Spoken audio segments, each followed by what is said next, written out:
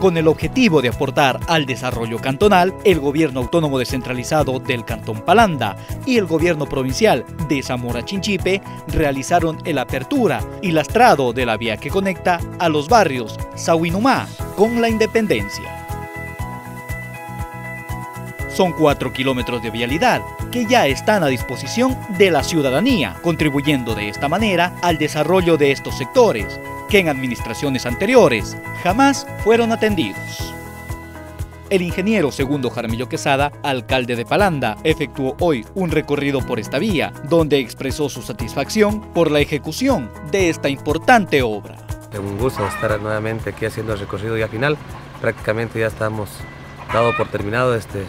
esta vía que era muy necesaria y muy importante para nuestros amigos de quienes transitan y quienes habitan también por estos sectores. Yo creo que nos sentimos contentos, gustosos, gracias a Dios, gracias a ustedes como ciudadanos por darnos la oportunidad de poderles servir y demostrar que no se equivocaron. Yo creo que al contrario, su confianza, eh, su fuerza que nos dieron, su voluntad, la demostramos nosotros con obras y creo que en esa línea estamos trabajando. Así es que agradecerle a Dios, agradecerle a ustedes, a todos quienes hacemos la familia municipal, trabajadores, empleados, porque es un trabajo conjunto entre el gobierno provincial y el gobierno cantonal de Palanda, un convenio, eh, y eso ha conllevado de que ya una hora más se termine y yo creo que han sido beneficiados este sector con el agua, con la vía, yo creo que eh, sueños anhelados pues, de años atrás a estos conciudadanos, y nosotros estamos cumpliéndolos. Creo que tres años que estamos al frente de la administración, cercanos de cuatro, y ya lo tenemos cumplido, estos dos sueños por ellos, así es que no esperamos 12 años para hacer realidad los sueños de nuestra gente del Cantón Palanda. Es un llamado a quienes eh, tienen la eh, la competencia en cuanto a las rancheras, en cuanto a las camionetas, para que hagan uso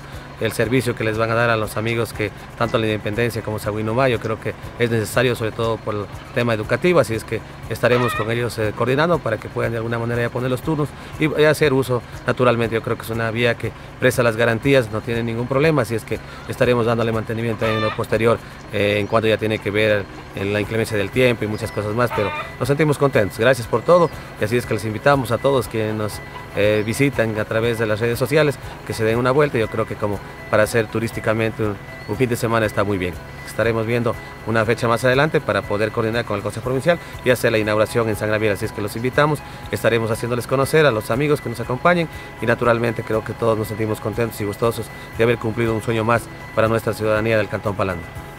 En el GAT Palanda impulsamos el desarrollo integral de nuestra gente con transparencia y con responsabilidad. Administración 2014-2019.